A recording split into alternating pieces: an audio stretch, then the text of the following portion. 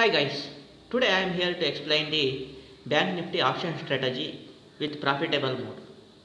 In this strategy you can take the profit in a day two times.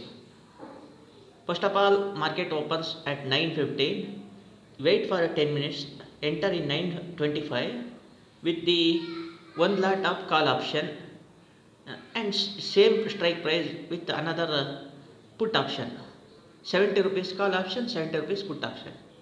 Okay? After that put the stop loss up uh, 15 or 20 rupees both the side. Put option 20 rupees stop loss and the call option 20 rupees stop loss. Wait for the momentum. Bank nifty is the one thing in bank nifty is it will take the rally anytime. You need to keep on watching. So if it goes call option either call option goes up some 40 50 points means here put option you hit stop loss and uh, you will get some uh, 700 to 800 profit in uh, call option. Vice versa here put option goes up then call option goes down.